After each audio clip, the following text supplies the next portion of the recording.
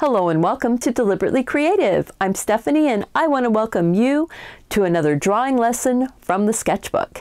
This time we are doing Indian corn or ornamental corn.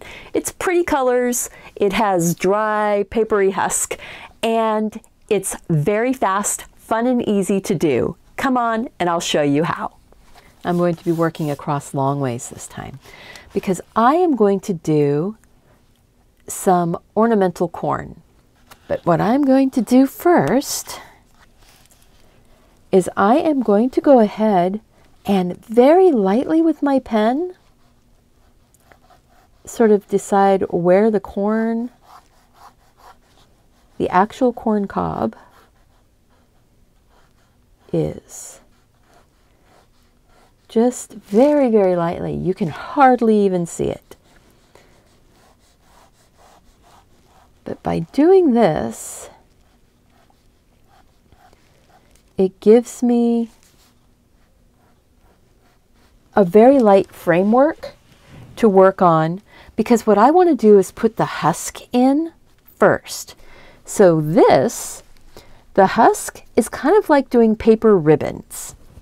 So the husk is starting back here at the back and I'm going to have one that goes up. It's sort of, it goes up, up, up. It kind of curls back like this and goes back up and joins in.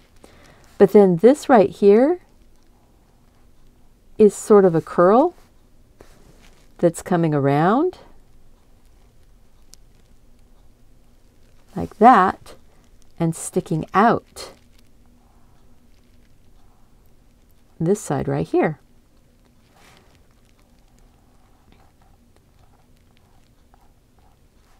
So look at that. And then it's going to go up and meet into it on the top edge. And then where this long skinny triangle is going up over the top edge this way, somewhere down in here, remember there's there's other stuff going on, but somewhere down in here, this is going to come up and meet in to the rest of the curl. We're going to be doing a few of them, so you'll, if you didn't understand what I just did, you'll get it by the time we're done. And then I'm going to go ahead and just give it some long linear type fibery lines. But I'm not going to do too much back here yet because I want to put another piece it's just sort of dragging off. But again, it's kind of like a ribbon.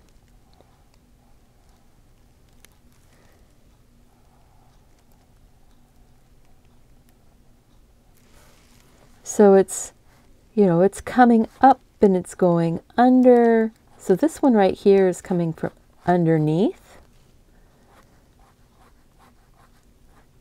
of that top piece of this is a top piece of the husk. So now I can put a shadow in right there and some lines. This is the next one coming down.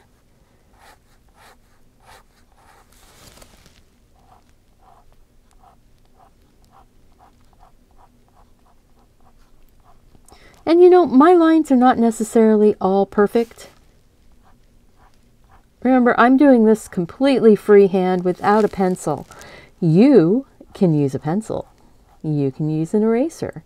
You can get things the way you want them to be. I just have given myself the challenge of doing this without an eraser.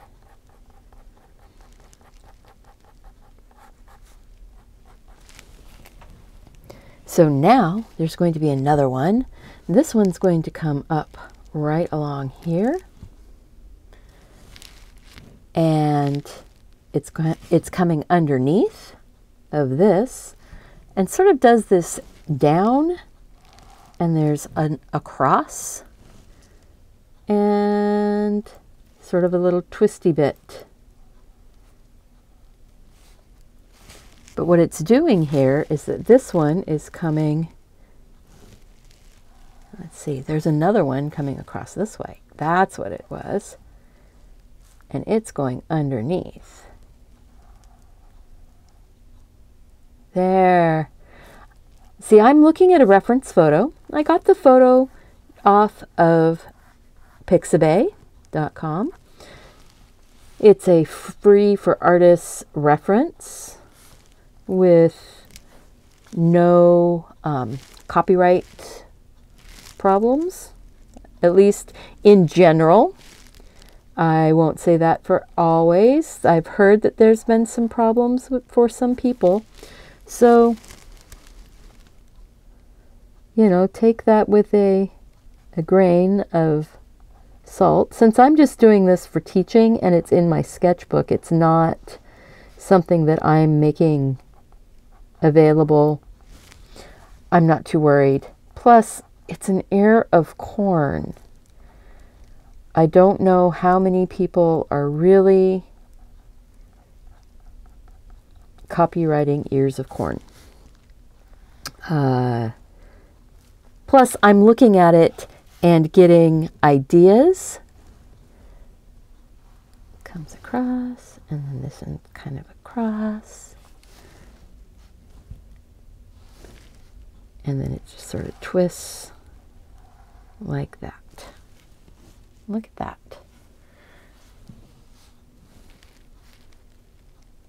So we've got we've got all kinds of stuff going on here. There's that one, and then there's still some husk that's on here. So I'm going to get a few of these things shadowed in because truthfully, I'm going to put the little corn kernels in and we'll color the corn. I'm not going to worry about coloring the husk. That's sort of a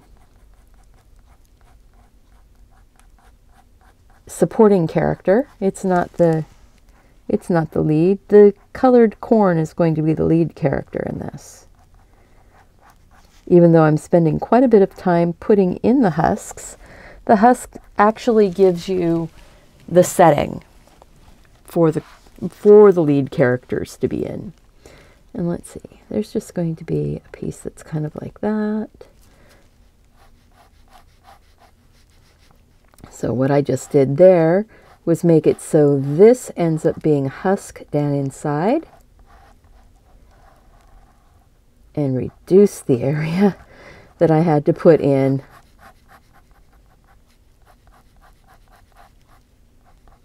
the corn.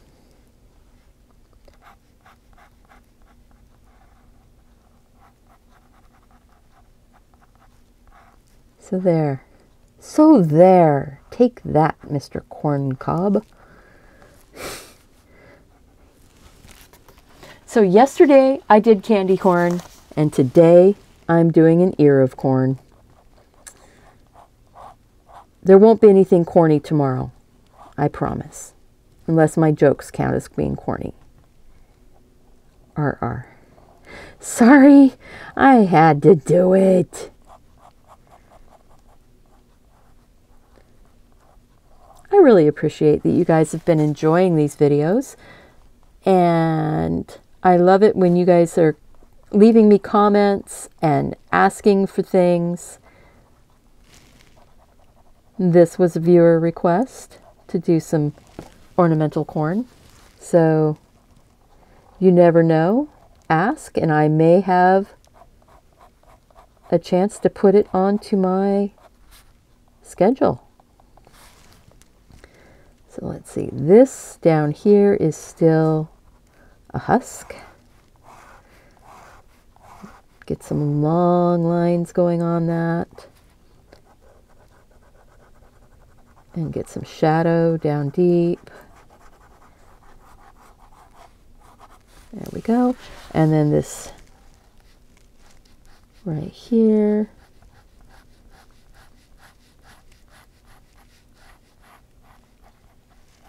Because that's that one that's underneath there. So we need a shadow here.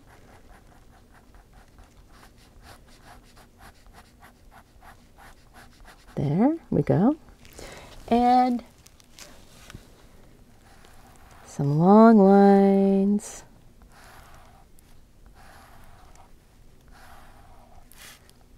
Because that's that long, fibrous, kind of paper-like quality of the husk. I'm going to leave that one lighter. This one needs to have some lines put in though. there may end up being a little bit of some husk going that way.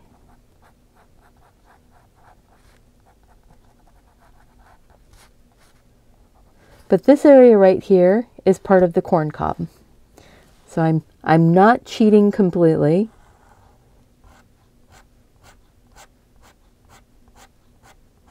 There we go.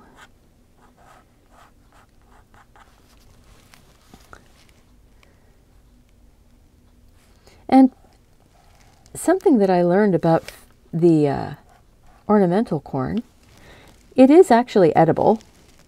It has a very small amount of the hard starch, excuse me, has a very small amount of soft starch in it and a really large amount of a hard starch.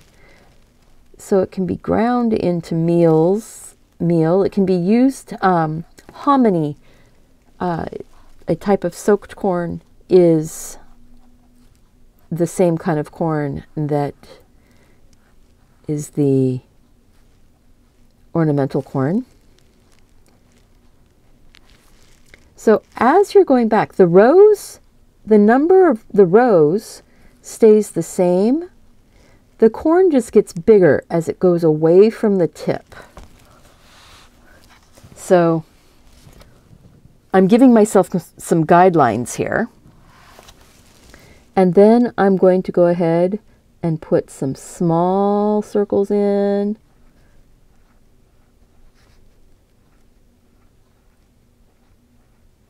There we go. Maybe bump those up just a little bit. And then the, the circles are not exactly circles. They're more like ovals. And they get bigger as they go back. And they actually do touch. And it's okay that I'm using this brown pen to put my corn in because there's shadows down inside. There's going to be colors on this. So these first ones here, these rows, I'm just doing my guessing by golly type of spacing. I'm not, I'm not measuring. I'm just looking at it going, okay, so the corn would be coming back here and getting bigger.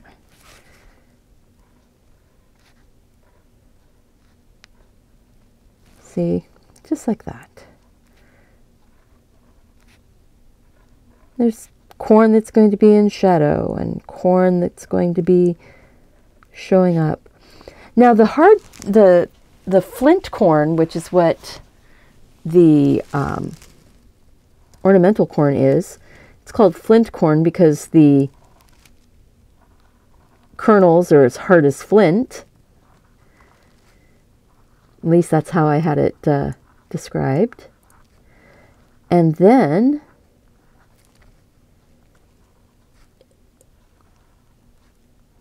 and it was the kind of corn that the Native Americans taught the pilgrims how to grow to keep them alive.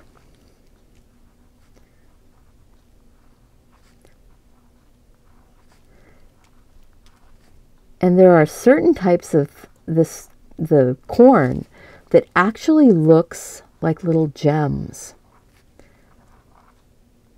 When I was doing my Doodle Gem series, I was looking at some of those going, oh, wow, it'd be cool to, to own some of that corn.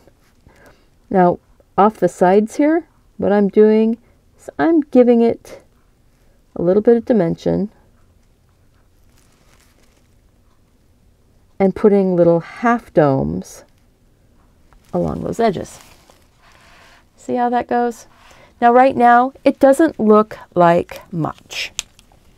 But when we go in, and first what we're going to do is I am going to go ahead and put some bright yellow and some yellow green together. And I am going to put that basically over all of the corn. Then we will go in and put shadows and highlights with different colors.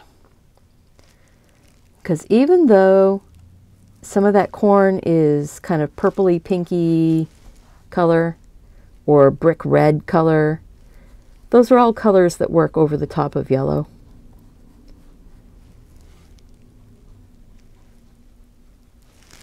So, you know, that doesn't look like much still, but it's getting there. I'm going to grab some rusty brown color. And this is still wet in here. But what I want to do is go and give it a little bit of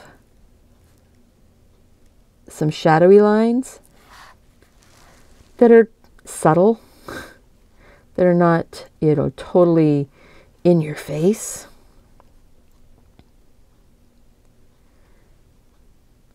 But just just something to kind of soften it up. I may even water down some of that a lot and put a little bit of that on the husk. Oh yeah, just a just a bit. Not a ton. Just something to give it a little bit of color because it was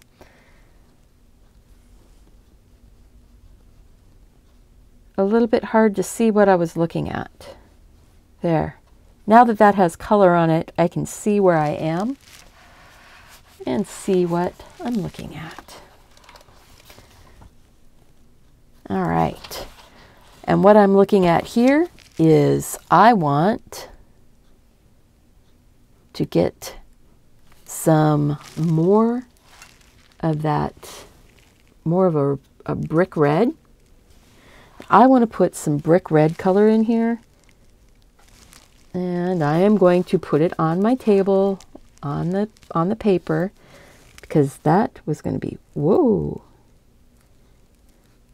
Oh, actually, yeah, I'll do it that way. I'll just let it. I need to keep my paper flat. I'm just going to put some drops of that in here. That's what we'll do. Because what it's doing is it's kind of flowing along those lines that I put in. Ha ha ha.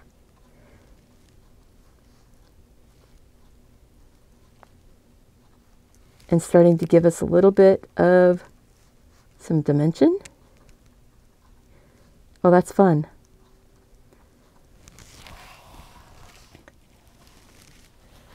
Now back here, in underneath of all of that, I want some darker colors. I think I'm going to go ahead and grab kind of a violety purple. And I want it to be, there we go. I need it to be a little bit more um, fluidy. There it is, the word. The word was fluidy.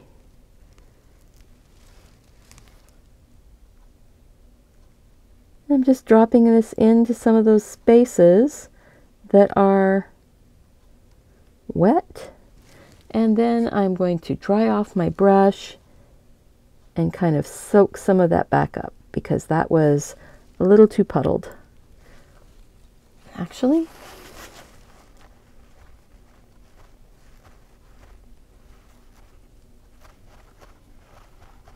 if I want to do more stuff here, I'm going to have to I'm going to have to blot.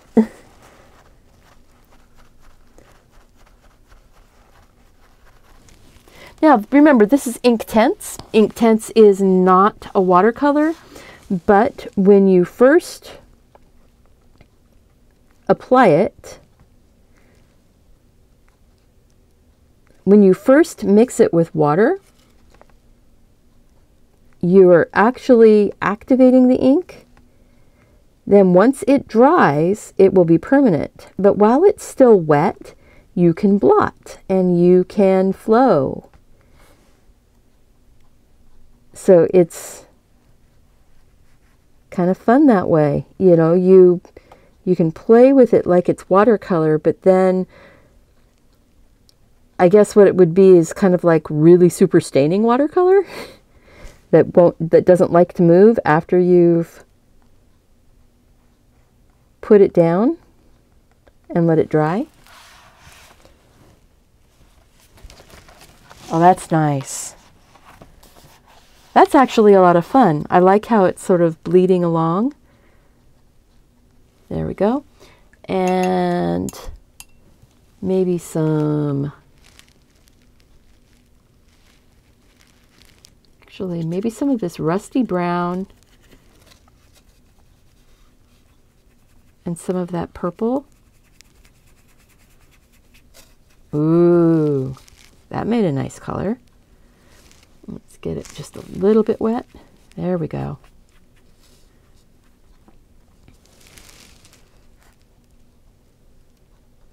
See, I don't want to cover up all of my bright yellow because that's sort of my highlights. And the corn is kind of like tie-dye almost. You you have spaces where the where the color is really one color and then you have some of the corn which is multiple colors.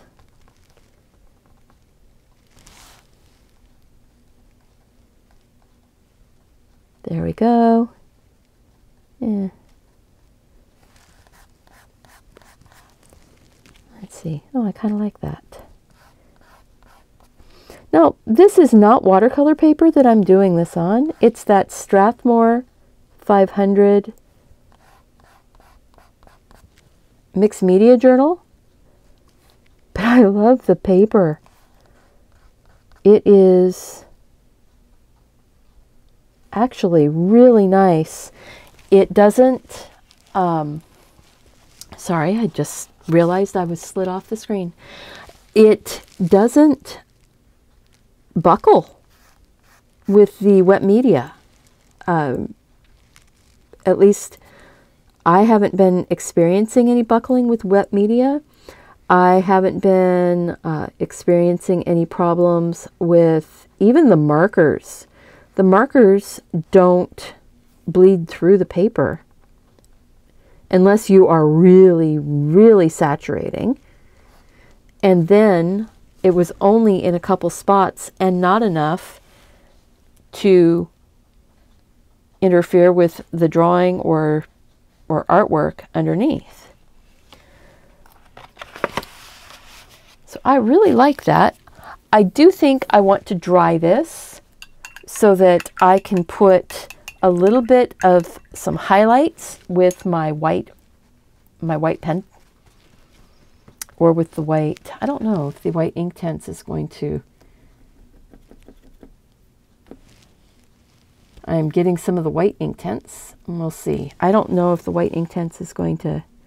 It's not. It's more gray, which is fine. But I want... I want a few spots that are brighter white than that. So I'll just put those on. Oh, I can use that as my sort of a shadow.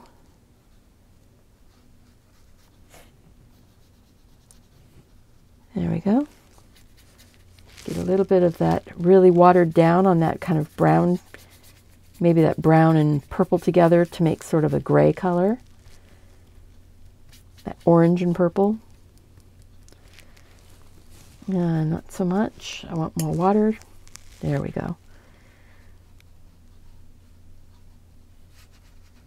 just like that.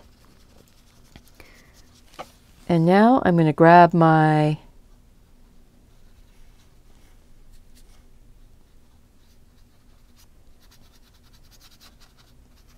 go grab the blow dryer,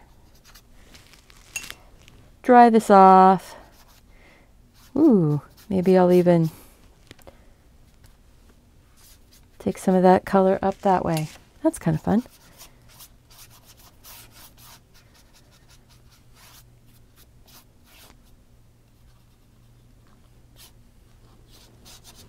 And I'm not worried that it just started bleeding out a little bit. That's kind of fun. I don't usually do things that are quite so unstructured with my with my painting uh, for watercolor and such. I'm usually just a wash in my in my ink pictures. Okay, I'll be right back with this all dry and the white pen. So I hope that you've enjoyed this. If you have, please click that like button, subscribe to the channel, share the videos with your friends. Make sure, oh yeah, there, that's better. That's nice because putting, and you don't put the white everywhere, you just put it on a few. And it, I'm so fortunate that you guys are willing to come along with me and just have some fun, peaceful time together. If you like this, please click that like button, subscribe to the channel, share with your friends. Make sure to click the bell so that you'll be notified when new videos go up. And leave me a comment, let me know, is there anything else you'd like to see me try to draw? As always, go out, do something creative, take care of yourself, so you can take care of those around you. And I hope to see you back here again really soon. Bye bye.